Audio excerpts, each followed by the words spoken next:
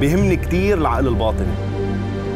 لأنه من خلاله فينا نعرف كيف شخص بيفكر شو عم بيفكر وكيف هالتفكير بينعكس على المجتمع اللي هو عايش فيه. بدي احطها بالمأوى خيي وأخلص منها بقى.